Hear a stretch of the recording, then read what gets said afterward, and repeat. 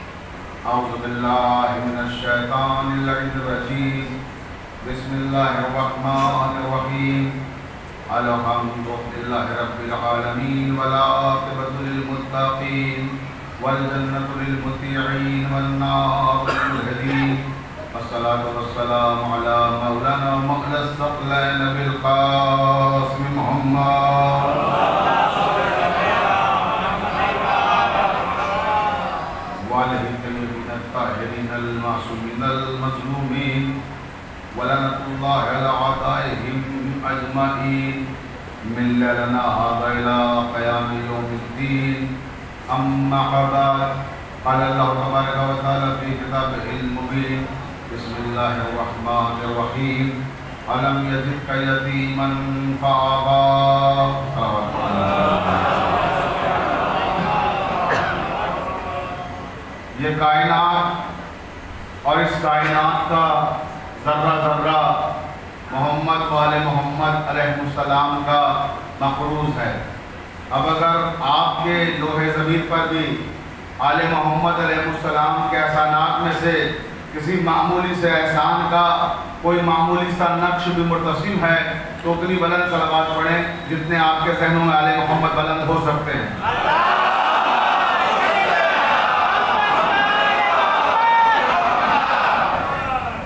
कि अब भी तो महसूस हो रहा है कि हैदरी हाल में नहीं सो रही है कम से कम कुछ ना सही नाम की लाद रख लिया कीजिए। हैदरी हाल है ये। तो अगर यहाँ भी बुलंद आवाज़ से सलावात ना पड़े, यहाँ भी अगर हैदर की आवाज़ें ना आए तो फिर कहाँ आएँगी?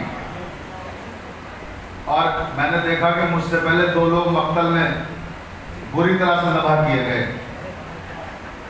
आपकी समातों के मक्तल में सबसे पहले जिन्होंने अपनी कुर्बानी पेश की वो मोहसिन औरंगाबादी साहब और दूसरी कुर्बानी जनाब रियाज अली साहब की आपने ली। लेकिन मैं कम से कम अपनी कुर्बानी नहीं पेश करूँगा इस वक्त। सलावत पढ़ रहे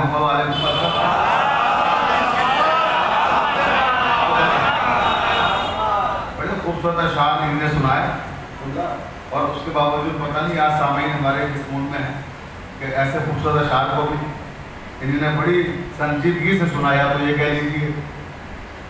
इसी तरह से मैं इनकी समाज की आपको बता सकता हूँ कि कुछ ज़्यादा ही संजीदा होकर सुन लिया। लेकिन आज आपकी खिदमत बात करूँ कि मजलिस सारे सवाब की ज़रूर है, मगर ये तारीख खुशी की तारीख है, ये विलादत की तारीख है। आज वही से कुरैश सरदार बठा हज़रत अबू तालिब सलाम का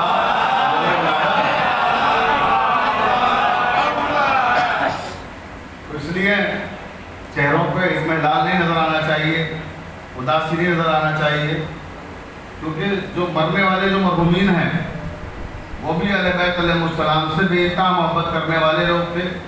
और ज़ाहिर सी बात है, हमारे गम, उनकी कोई हैसियत नहीं, कोई औकात नहीं है अहल बैत की खुशियों के सामने। तो ज़ाहिर सी बात है, जब हज़रत अबू तालिब की आज विलादत का दिन है तो फिर मैं आज समझ लें, मजलिस कम महफिल पढ़ूँगा एक तरह से। बस मुख्तसर हल्का सा मसायल का तस्करा करूँगा।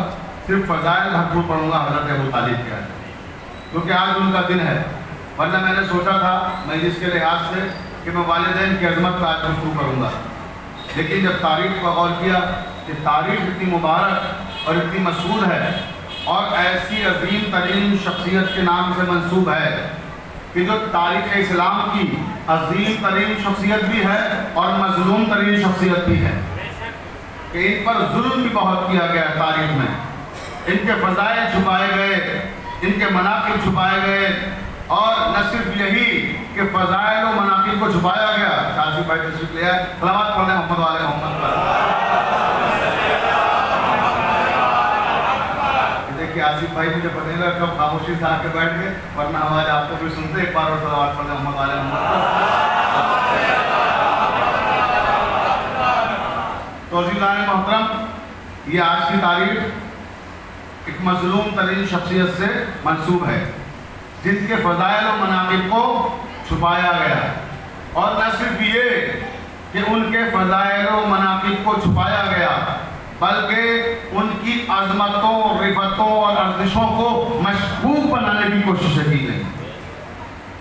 उनके ईमान पर हमला किया गया।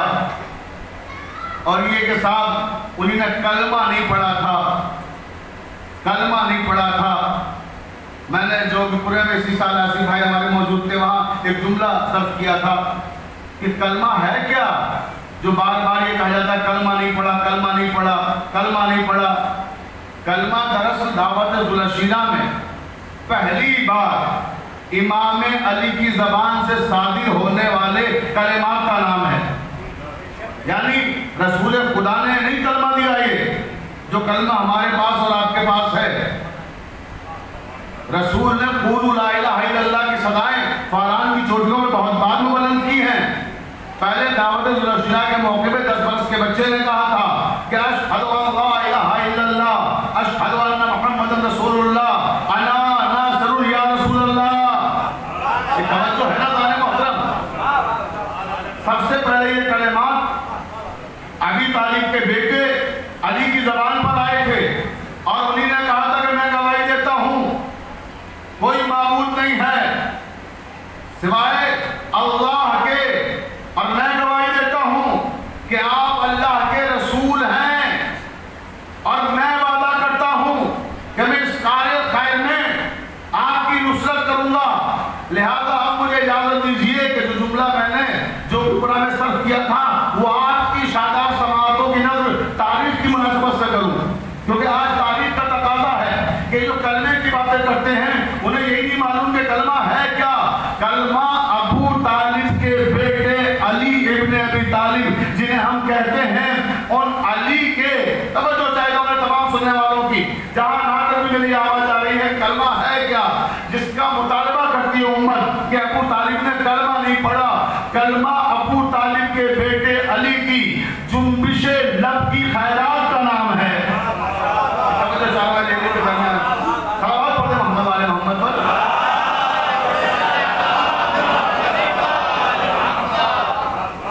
जुम्बिश लब की खैरात का नाम कलमा है जिस पर तुम्हें बड़ा नाज है बड़ा इफ्तार है और अभी जाने मोहतरम बड़े गए मगर फजाइल के साथ साथ हज़रत अबू तालिब के लिए एक लाहे का जोड़ दिया गया। कलमा नहीं पड़ा था, ईमान नहीं लाए थे, जबकि ये जानते ही नहीं हैं कि ये वो अजीम तरीन शख्सियत हैं जिन्हें हज़रत अबू तालिब कहा जाता है कि कुरान मजीद में 300 आयतें इनकी शान में नाजिल की गई तीन सौ आयतें। अब हो सकता है कोई मौलवी कहे, साहब, तीन आयतें सुना दीजिए। आप तीन सौ की बात कर रहे हैं। हम तीन आयतें नहीं, तीन सौ सुना सकते हैं। तवज्जो रहे, क्योंकि हम अहले बैत के जाकिर हैं और अहले बैत के जाकिर दलील के बगैर गुफ्तगू नहीं करते हैं। मिंबर पर वही दावा करते हैं जिसकी दलील पेश कर सके। तो 300 आयतें हज़रत अबू तालिब की शान में नाजिल की गई। और बैन ही बिल्कुल इसी तरह से। कुरान मजीद में 300 आयतें हज़रत अली अलैहिस्सलाम की शान में नाजिल की गई।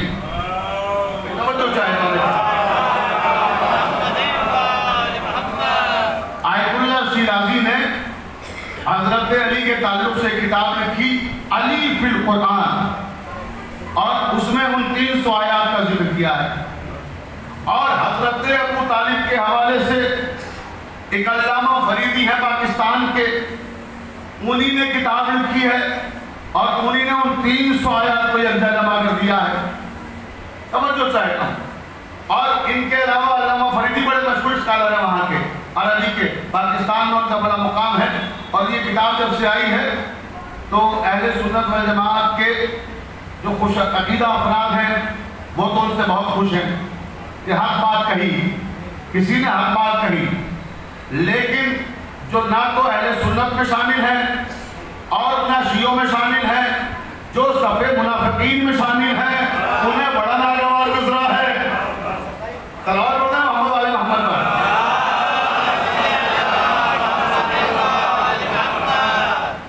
इसी तरह से जब शेखुल इस्लाम अल्लामा ताहिरुल कादरी ने किताब लिखी थी अल कौलुल गालिब फ़ी ईमान अबी तालिब तब भी यही हुआ था जमात ने उसका इस्तेमाल किया और मुनाफिकीन को, बड़ी नागवार गुजरी को, और उनके खिलाफ बयान भी दिए गए।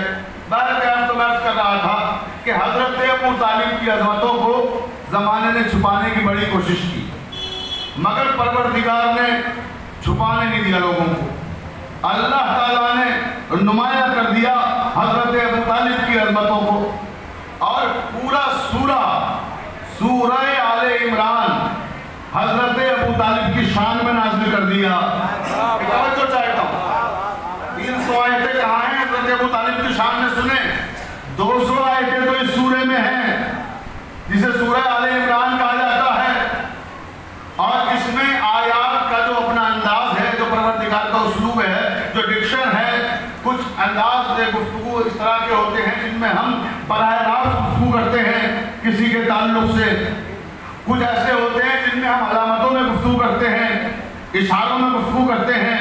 अब आप आसिफ जलाल साहब के अशार अक्सर सुनते हैं, बहुत से अशार इनके ऐसे होते हैं जिनमें नुमाया तौर पर जिनके ये मद्दा है, उन शख्सियतों का ज़िक्र होता है और बहुत से ऐसे अशार होते हैं जिनमें अलामतों में गुफ्तु की जाती है तब जो चाहता हूँ और ये अंदाज हमने कुरान ही से सीखा है कि कुरान ने हमें अलामत में मदद करने का तरीका सिखाया इन नमा वलीकुमुल्लाह व रसूलो वल्लज़ीना आमनू अल्लज़ीना युकीमुन सलाता व युतून ज़काता व हुम राकिऊन परवरदिगार ने कहा अल्लाह तुम्हारा वली है उसका रसूल तुम्हारा वली है और वो साहिबान ईमान तुम्हारे वली हैं जो हालत रुकू में ज़कात देते हैं अपना नाम ले दिया वाजे कर दिया कि अल्लाह वली है रसूल वली है नाम ले दिया वाजे कर दिया लेकिन जब अली का मसला आया तो अलामतों में गुफ्तगू की अरे बोले मोहम्मद वाले मोहम्मद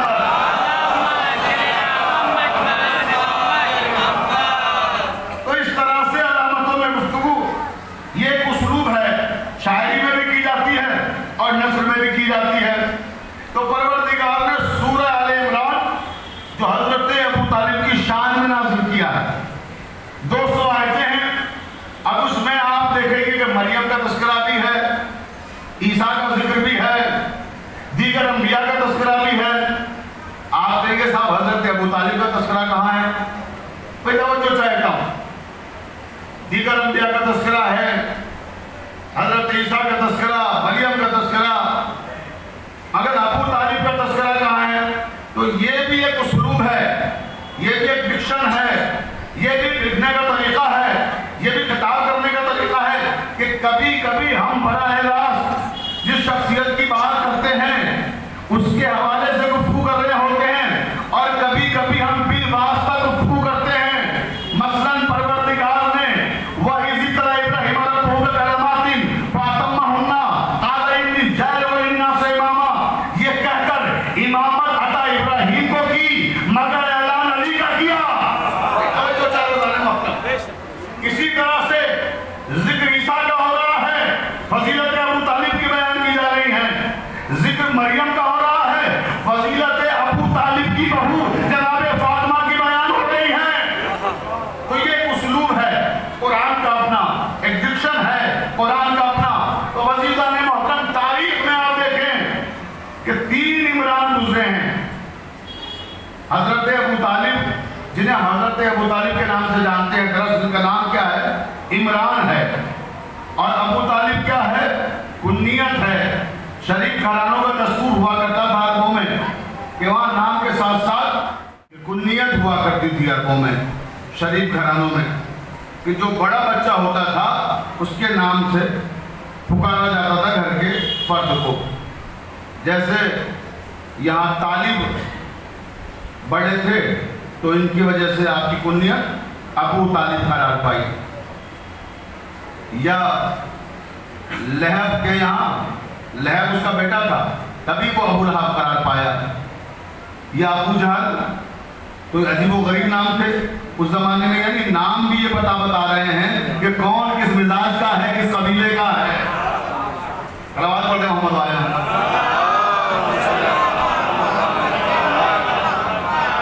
तो ये हज़रत अबू तालिब यानी अबू तालिब कुन्नियत नाम इमरान।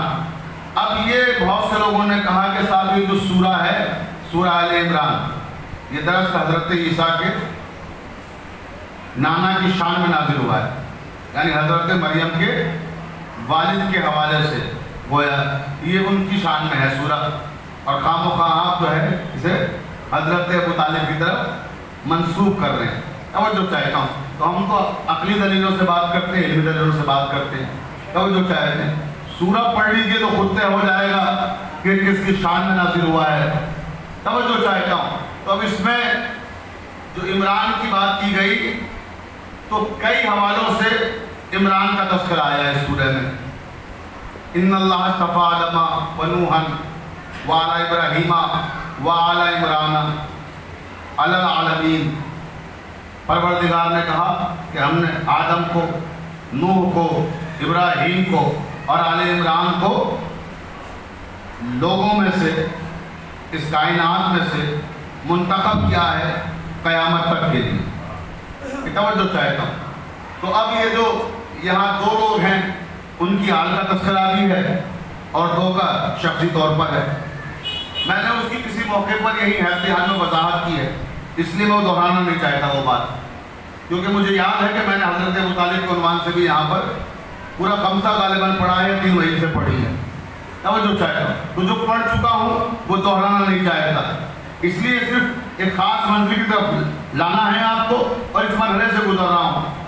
तो इमरान, वो है कि जो कयामत तक बाकी रहेगा। क्योंकि अल्लाह ने इंतखा किया है कयामत तक के लिए। अब तारीख में तीन इमरान गुजरे हैं। वो कौन है? पहले इमरान है हज़रत मूसा के वालिद, मूसा इब्ने इमरान। यानी हज़रत मूसा के वालिद हैं, वो भी इमरान है। दूसरे इमरान हैं, मरियम बिन इमरान। यानी हज़रत मरियम के वालिद इमरान। और तीसरे इमरान हैं अली इब्न इमरान, हज़रत अली के वालिद। इमरान जिन्हें हज़रत अबू तालिब के नाम से जानते हैं। तवज्जो चाहता हूँ।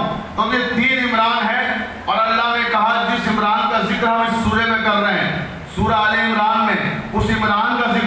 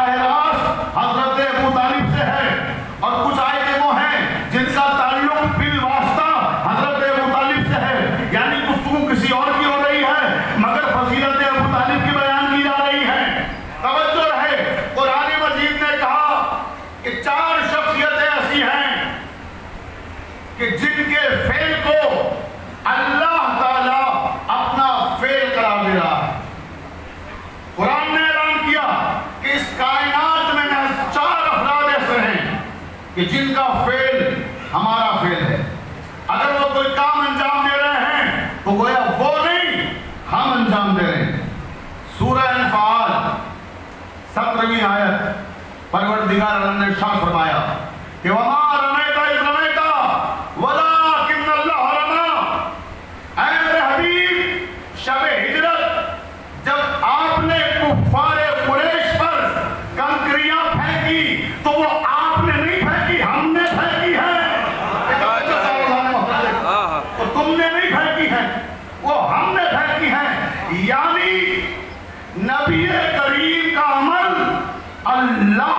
अमल है। अल्लाह ने ऐलान कर दिया, जमानत दे दी कि मुस्तफ़ा का हर फेल हमारा फेल है। फिर उसके बाद इसी सूर्य की, इसी सत्रहवीं आयत में अगला फिक्रा परवरदिगार ने कहा फलन तक़तलूहुम वलाकिन अल्लाह क़तलहुम अब खिताब है अली इब्न अबी तालिब से काहे अली मैदान बद्र में कुफार को तुमने नहीं कत्ल किया हमने कत्ल किया है तलवार अली की चल रही है अल्लाह कह रहा है हमने कत्ल किया है तो दो शख्सियतें उभर के आई कुरान में एक सूरे में कि जिनके फेल को अल्लाह अपना फेल कह रहा है पहली शख्सियत रिसालत माफ़ की दूसरी शख्सियत अमीर मुमकिनात हज़रत अली इब्न अबी तालिब की कि परवरदिगार कह रहा है कि अली कुफार को तुमने नहीं हमने कत्ल किया है अब दो परवरदिगार ने सूरह अनफाल में किया। फिर दो शख्सियतों का तस्करा। मैंने बताया चार है ना तो दो शख्सियतों का तस्करा सूरत दुहा में किया। ये कुरान मजीद का निन्यानवा सूरा है। इसकी छठी आयत और आठवीं आयत। तवज्जो रहे। परवरदिगार आलम ने शाह फरमाया कि आलम यजिद का यतीमन फाहा काहे मेरे हबीब, जब हमने तुम्हें तो हमने तुम्हारी परवरिश की रिवायतों से नहीं अबू तालिब की अजमत आयतों से सुना रहा हूँ ताकि सुनिए कोई तवज्जो चाहता हूँ काहे मेरे हबीब हमने जब तुम्हें यतीम पाया तो हमने तुम्हारी परवरिश की अब सारे मसालिक मुसलमानों के लिखते हैं अपनी अपनी किताबों में कि हज़रत अबू तालिब की परवरिश हज़रत रिसालत नाम की परवरिश हज़रत अबू तालिब ने की कलमे पर इख्तलाफ है कि पढ़ा या नहीं पढ़ा परवरिश पे किसी को इख्तलाफ नहीं है। अब कुरान कह रहा है कि हमने अल्लाह कह रहा हमने परवरिश की मोहम्मद मुस्तफ़ा की। और परवरिश की किसने? सारी किताबें क्या कह रही हैं? जितनी भी शरीफ किताबें हैं जितनी भी सही किताबें हैं चारा, सबने लिखा कि अबू तालिब ने रिसालत माफ़ की की वो बदत कायलन अब चौथी शख्सियत का ऐलान किया कुरान ने कि चौथा कौन है जिसका फेल अल्लाह कह रहा है कि वो हमारा फेल है? वो है उम्मुल आइमा। जनाबे परवरदिगार कह रहा है मेरे हबीब, जब हमने तुम्हें तंदस्त पाया। भाई चाहे तो के सुनिएगा। हमने जब तो हमने तुम्हें गनी बना दिया बहुत तवज्जो सारे मोहम्मद हमने जब तंदस्त पाया तो हमने तुम्हें गनी बना दिया मुसलमानों की हर तारीख में लिखा है कि रसूल ही नहीं ऐसे वैसे भी गनी बने तो इनकी दौलत से बराबर करते मोहम्मद वाले मोहम्मद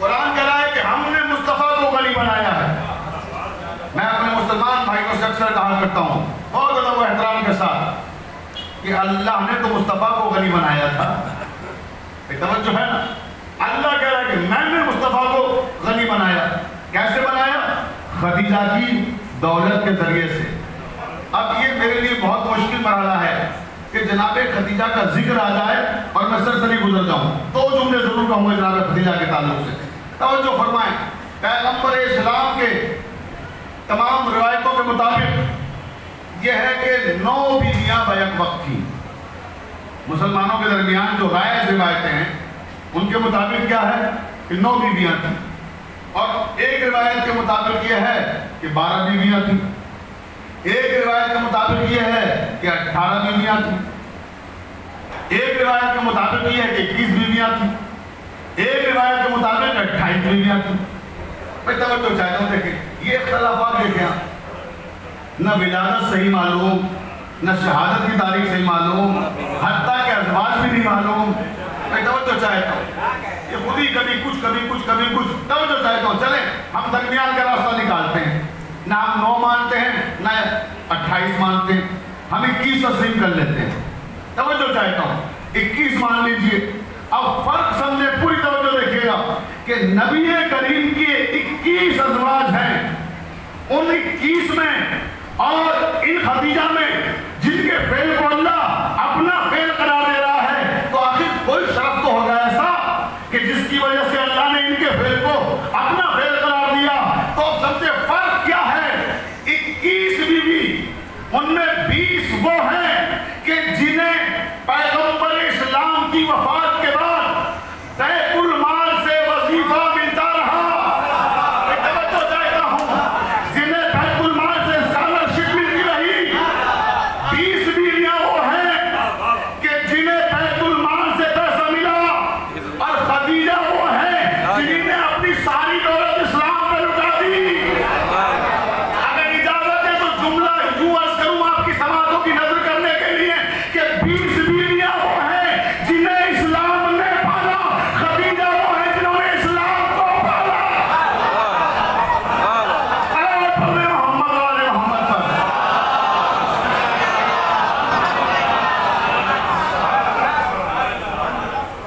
तो ये चार शख्सियतें वो हैं कि जिन्हें परवरदिगार कह रहा है कि इनका फेल, हमारा फेल है। इनका अमल, हमारा अमल है। और हमारी जान कुर्बान हो जाए सरकार अबू तालिब पर। कि क्या शान बयान की कुरान में परवरदिगार आलम ने, हज़रत अबू तालिब की? मैं रिवायत नहीं सुना रहा हूँ, आयतें सुना रहा हूँ, तभी तो चाहता हूँ देखें आप आलम यजीद का यतीमन फावा फिर इसी सूर्य की नबी आयत में कहा फामल यतीमा फला ताफर कुरान ने सूरह अहज़ाब में कहा कि लक़द काना लकुम फ़ी रसूलिल्लाह है उसवतुल हसना। तवज्जो है ये सूरह अहज़ाब अल्लाह क्या कह रहा है कि हमने सारी कायनात के लिए अपने पैगंबर, हज़रत मोहम्मद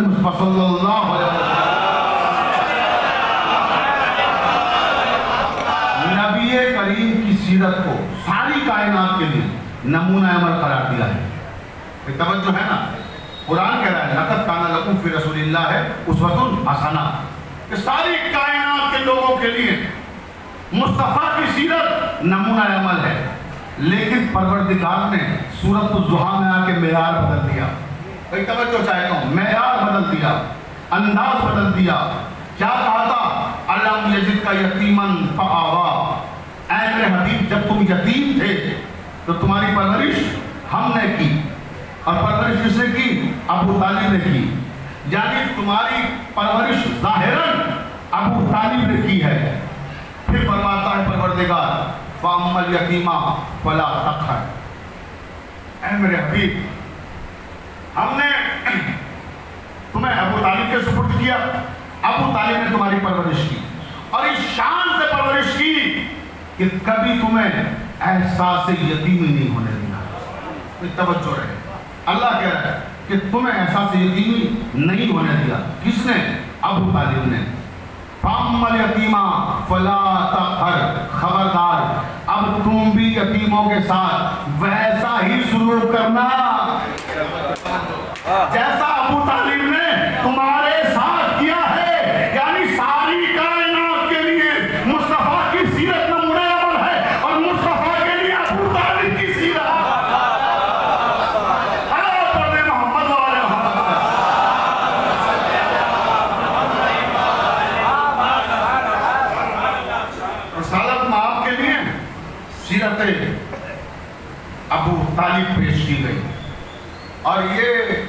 कोई इस मरहले पर आकर नहीं। इससे पहले भी एक मरहला मैं आपको याद दिलाऊं पुरानी मस्जिद में। तीन सौ आयत ज़ाहिर सी बात है, तीन सौ आयत का उसको करना मुमकिन नहीं है।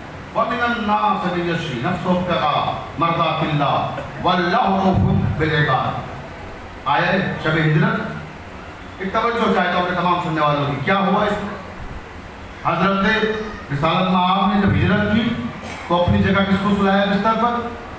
अली को सुलाया। तालिब भी मौजूद थे, जाफ़र भी मौजूद थे, अकील भी मौजूद थे। अगर अपने चचाजाद भाई ही को सुलाना था तो बहुत से भाई मौजूद थे। किसी को सुला देते, असहाब में से सुला देते। नहीं, किसको सुलाया? हज़रत अली को सुलाया। क्यों सुलाया? तब जो चाहता हूँ। इसलिए सुलाया क्योंकि शेब अभी तालीब में अबू तालिब ने सुन्नत कायम की थी। बहुत सुनिएगा। अबू तालिब ने शेर अभी तालिब में एक सुन्नत कायम की थी। क्या? कि शेर अभी तालिब ने तीन साल तक मुसलसल हज़रत अबू तालिब ने रिसालत माप के बिस्तर पर रात की तारीखी में अली को सुनाया अली के बिस्तर पर रसूल को सुनाया क्यों ताकि अगर दुश्मन कत्ल करने के लिए आए तो रात में मुस्तफ़ा के बिस्तर पर अली को सुना देते थे कि मेरा बेटा कत्ल हो जाए मुस्तफ़ा बच जाए तारीख तो देखे जमाना बेटा कत्ल हो जाए मगर भतीजा बच जाए कायनात में कोई एक बाप ले आओ ऐसा तवज्जो चाहता हूँ जो भतीजे पर बेटे को कुर्बान कर दे हर इंसान को अपना बेटा भी होता है, लेकिन यहाँ मसला बेटे का नहीं था। मुस्तफ़ा अबू तालिब के भतीजे का नाम नहीं है अबू तालिब रात की तारीखी में अपने बेटे का नजराना पेश कर कर मोहम्मद के बिस्तर पर अली को सुलाकर अपने भतीजे को नहीं बचा रहे हैं अबू तालिब के मोहम्मद भतीजे नहीं हैं कि भतीजे की हिफाजत कर रहे हैं अबू तालिब के मोहम्मद सिर्फ़ वो भतीजे नहीं हैं मैं भतीजे नहीं हैं यहाँ सिर्फ़ भतीजे की हिफाजत नहीं हो रही है या या करो जुमला बदल कर कि मोहम्मद मोहम्मद अबू तालिब के भतीजे का नाम नहीं है बल्कि मोहम्मद अबू तालिब के अकीदे का नाम है मोहम्मद अबू तालिब के अकीदे का नाम है अकीदे की हिफाजत कर रहे हैं अब वहाँ शेर अबी तालिब में तीन साल की मुद्दत है तीन साल तक सिर्फ़ अली को सुनाया। वहाँ भी जाफ़र मौजूद है, तालिब भी मौजूद है हमें अकील भी मौजूद है, मगर खुद अबू तालिब ने अपने किसी बेटे को नहीं सुनाया और एक दो दिन नहीं, तीन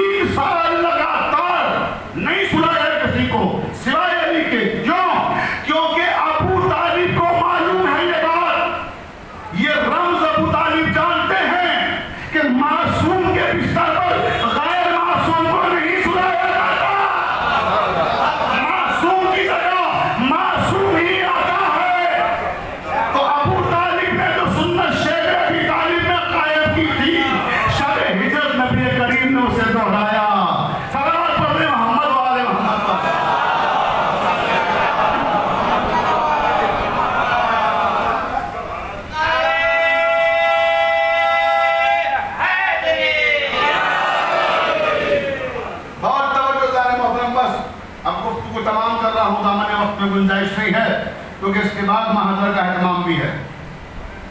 अब महाजर की बात आई है तो दो जुमले महाजर के ताल्लुक से सुनते जाइए, बस उसी में गुफ्तु को तमाम कर दूँगा। तवज्जो चाहता हूँ देखिएगा। महाजर के ताल्लुक से एक बड़ी खूबसूरत रिवायत। बहुत ही मशहूर आलिम दीन जिनका भी मैंने ज़िक्र किया, शेखुल इस्लाम। अल्लामा ताहिर कादरी साहब ने अपनी किताब अल कौल गालिब फिर ईमान ने तालीम में तहरीर की। तवज्जो चाहता हूँ वो रिवायत क्या है? वो रिवायत लिखते हैं कि शेख तालीम में तीन साल का अरसा है। एक दो दिन का किस्सा नहीं है। तीन साल तक रिसालत माँ का खानदान इंतहाई अजियतों में रहा। अहल मक्का ने सोशल बाइकाट कर दिया।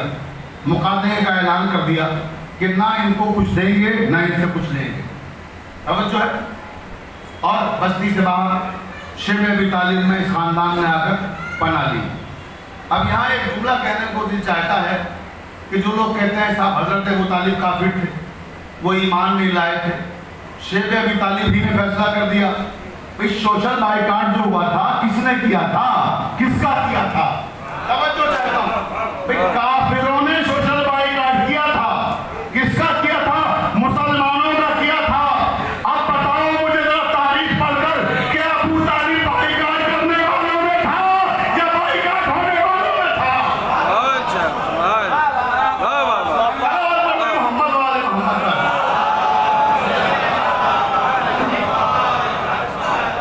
सोशल बाइकाट किया किसने था काफिरों ने किया था ना साहिबान ईमान का किया था तो बताओ मुझे अबू तालिब कहाँ हैं कशेब अबी तालिब में अब अल्लामा ताहिरुल कादरी लिखते हैं कि शेब अबी तालिब में जब दस्तरखान लगता था अभी यहाँ भी लगेगा मजलिस के बाद। महाजर का एहतमाम है इसलिए मैं आपको ये वाक़ ज़रूर सुनाना चाहता हूँ।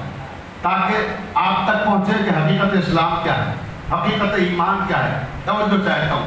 और कहा जाता है कि महाजर अगर मजालिस में इसका एहतमाम किया जाए तो लोगों की तादाद बढ़ जाती है। मैं नहीं मानता इस बात को। अरे हमारी कौम के लोग कोई भूखे थोड़ा ही है कि खाने के लिए तादाद बढ़ जाए। अल्हम्दुलिल्लाह सब सैराब होते हैं और फिर ये विलायत की गिजा से सैलाब किए हुए लोग बहुत तवज्जो। तो अब यहाँ अल्लामा लिखते हैं कि जब दस्तरखान लगता था तो हज़रत अबू तालिब दस्तरखान अपने हाथों से बिछाते और सारे खानदान के लोगों को बुलाते सब सामने बैठ जाते, दस्तरखान पे सिर्फ़ दो लोगों को बैठाते एक तरफ़ हज़रत अली और एक तरफ़ हज़रत मोहम्मद मुस्तफ़ा सल्लल्लाहु अलैहि वसल्लम।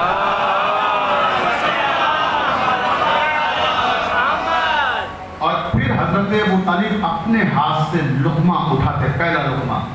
ये मिर्ज़ा शफीक के जुमले नहीं है। तवज्जो है, ताहिरुल कादरी लिख रहे हैं। किताब का नाम मैंने बता दिया। पहला लुकमा उठाया और उठाकर उन्होंने वो रिसालत में आपके दहन में रख दिया। फिर दूसरा लुकमा उठाया, वो उठाकर अमीर मुमकिन हज़रत अली के दहन में रख दिया। इस तरह जब दोनों को खाना खिला चुके उसके बाद जो खाना बचता, फिर अपने बकिया, अफराद ख़ानदान को बुलाते और उनके साथ बैठकर खुद भी खाना तनामुल फरमाते। ये एक दिन का किस्सा नहीं है। कितने दिन का है सिलसिला? तीन साल तक। तवज्जो रहे। एक तरफ़ रिसालत माफ़ एक तरफ़ अमीर मुमकिनात और दोनों को खाना कौन खिला रहा है? हज़रत अबू तालिब, बहुत तवज्जो चाक के सुनिएगा वसलान मोहतरम। बस गुफ्तु तमाम हो रही है। अब एक रिवायत है, जो ओलमा अहले सुन्नत ने लिखी है, और हमारे यहाँ भी है, अहले तशरी के यहाँ भी रिवायत क्या है? अब रिवायत को रिवायत से जोड़िए, बस गुफ्तु तमाम हो। रिवायत ये है कि अल्लाह रज्जाक है, मगर उसने तकसीम रिस्क की ज़िम्मेदारी किसी और को दी है। तकसीम रिस्क की ज़िम्मेदारी किसी और को दी है। अब यहाँ शियों और सुन्नियों में इख्तलाफ है। हमारे बरादरान सुन्नत कहते हैं कि उसने तकसीम रिस्क की ज़िम्मेदारी रिसालत महाब को दी है। तवज्जो। और हमारा अकीदा ये है शियान हैदर करदार का कि उसने तकसीम रिस्क की ज़िम्मेदारी हज़रत अली को दी है। मगर मैं कहता हूँ दोनों सही हैं। अगर हमारे सुन्नी भाई कहते हैं कि रिसालत महाब को दी गई है, तकसीम रिस्क की ज़िम्मेदारी तो वो भी सही है। अगर हम कहते हैं कि हज़रत अली को तकसीम रिस्क की ज़िम्मेदारी दी गई है तो हम भी सही हैं। इसलिए कि हमारे यहाँ एक रिवायत बड़ी मशहूर है। और हमारे ग्राम मेंबर से पढ़ते हैं कि मस्जिद कोफा से अमीर मुमकिना नमाज़ फजर पढ़ाकर एक बुलंदी पर आके खड़े हो गए एक शख्स गुजरा उसने कहा, या अली, क्या कर रहे हैं आप? कहा, तुझे दिखाई नहीं देता। कहा, मुझे तो ये दिखाई दे रहा है कि आप फिजाओं में हाथ लहरा रहे हैं कुछ इशारा कर रहे हैं। तो मौला ने फरमाया कि मैं अल्लाह की मखलूक को रिस्क तकसीम कर रहा हूँ। एक तवज्जो चाहता हूँ। अल्लाह की मखलूक को रिस्क तकसीम कर रहा हूँ। ये मुनाफिक था कोई? इससे कहाँ बर्दाश्त होता? चला गया। फिर दूसरे दिन नमाज़ फजर के बाद वाला फिर उसी बुलंदी पर फिर वही इशारे कर रहे फिर ये आया, बोला, या अली आज क्या कर रहे हैं? कल तकसीम रिस्क कर रहा हूँ। अल्लाह की मखलूक में रिस्क बांट रहा हूँ। कहा अच्छा आप तकसीम रिस्क करते हैं? कहा, यकीनन। वो चला गया। फिर तीसरा दिन आया। फिर देखा मौला को फजर की नमाज़ के बाद उसी बुलंदी पे खड़े थे हाथ से इशारे कर रहे हैं। कहने लगे या अली आज क्या कर रहे हैं का वही जो दो दिन कर रहा था। तकसीम रिस्क कर रहा हूँ। अल्लाह की मखलूक में रिस्क बांट रहा हूँ सुन तेरे हाथ में मुट्ठी में जो शीशी है उस शीशी में जो चिमटी है उस तकबीर से पहुँच गया तकसीम रिस्क कर रहा हूँ तो अजीजान मोहतरम दो रिवायतें सामने आई अहले सुन्नत वल जमात के यहाँ रिसालत मानव तकसीम रिस्क करते हैं और शियों के यहाँ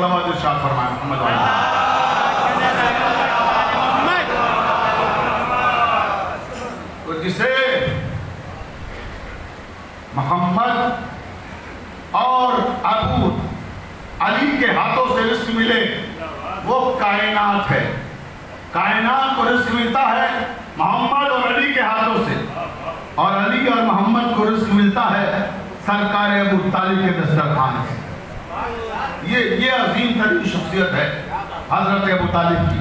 बस अब दामन वक्त में गुंजाइश नहीं है, क्योंकि मैंने वादा किया था आपसे कि मैं अपने वक्त के अंदर अपनी तकरीर को ख़त्म कर दूँगा और वह वक्त मुकम्मल हो गया। और क्योंकि आज हज़रत अबू तालिब की विलादत का दिन है, इसलिए मैं मसाइल सिर्फ़ दो चार जुमले तबरुकन कहूँगा और तफसीली मसाइल आज नहीं पढ़ूँगा। लेकिन दो जुमले उन मरहूमिन के ताल्लुक से ज़रूर कहना चाहता हूँ कि जिनके साले सवाब की ये मजलिस मुनद की गई है। मिर्ज़ा रफ्तार हुसैन मरहूम और मिर्ज़ा इरशाद अली मरहूम, परवरदिगार आलम, उनके दर्जात को बुलंद फरमाए और उन्हें अहलबैतम का कुर्ब नसीब हो। उन्हीं ने इस हैदरी हाल की भी खिदमत की और कुछ दिन यहाँ सदर के अहदे पर पायद रहे मिर्ज़ा रफ्तार हुसैन साहब। और जब सदर नहीं थे, तब भी उन्हीं ने जो मुमकिन था उन नौजवानों के साथ ताउन किया। और कितनी बार वो लखनऊ आए मेरे पास अंजुमन के मसाइल के ताल्लुक से तो मुसलसल सरगर्म रहे और फ़ार रहे और अंजुमन की खिदमत करते रहे और दिन की खिदमत का फरीज़ा अंजाम देते रहे। या इसी तरह से मिर्ज़ा इरशाद अली मरहूम वो भी हमेशा आज़ादारी के मामला में पेश पेश रहे और आज़ादारी के फ़रोग में हमेशा बढ़ चढ़ के हिस्सा लिया। तो मैं दुआ करता हूँ, परवरदिगार आलम, इन दोनों मरहूमिन के दर्जात को बुलंद फरमाए और इनके खानवादे को कामरानियाँ और कामयाबियाँ अता फरमाए और बस तवक्को के चंद जुमले मसायब के, जैसा कि मैंने अर्ज़ किया, क्योंकि आज मसायब का दिन नहीं है। आज सरकार अबू तालिब की विलादत की तारीख है। आज जश्न का मौका है। लिहाजा हमारी जो तमाम तर मसाइल हैं खा वो हमसे ताल्लुक़ रखते हों खा वो खुशियों से ताल्लुक़ रखते हों, वो सब कुछ कुर्बान हैं अहलबैतम की खुशियों पर और इनके गमों पर। बस तबरुकन दो जुमले सिर्फ़ कहकर मैं ये तमाम कर रहा हूँ। और अदादारा ने मजलूम करबला, यही दो जुमले वो हैं कि गोया हज़रत अबू तालिब को खराज अकीदत दिए हैं। यानी जब जब दीन पर वक्त आया है, तब तब या तो अबू तालिब काम आए हैं, या औलादे अबू तालिब काम आई है। हज़रत अबू तालिब की औलाद ने दीन को फैलाया भी और दीन को बचाया भी। दीन को फरोग देने वाले का नाम है अली और दीन को बचाने वाले का नाम है हुसैन। तो ये क्या है? अबू तालिब का खून है। बच्चा बच्चा, तेरी नस्ल का गालिब निकला। पड़ गया वक्त तो असर अबू तालिब निकला। ये है अबू तालिब कि कभी जुल्म के सामने अली अनपढ़ के आ गए और सीने पर पंछी की हनी ले ली। और कभी कासिम की शक्ल में लाजा पामाल हो गया। कभी यौम मोहम्मद की शक्ल में दरिया के किनारे शहादत का ढाक नोश कर लिया। कभी अब्बास की शक्ल में बाजू को मुलखता करा दिया और कभी अली असगर की शक्ल में छह महीने के बच्चे की शक्ल में